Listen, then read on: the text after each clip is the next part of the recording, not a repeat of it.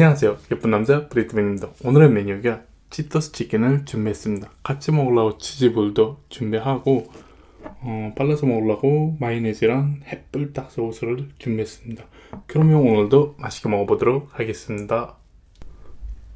비스밀라흐마라힘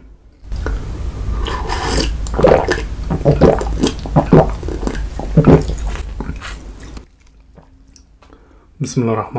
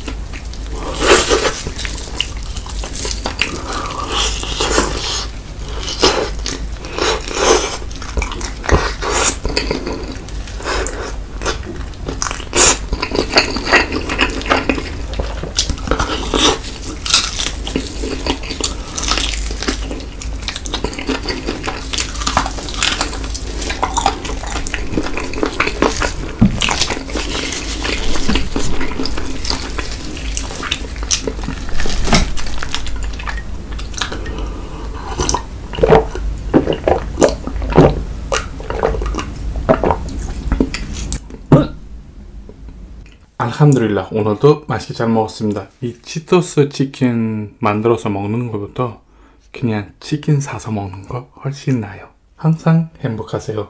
안녕.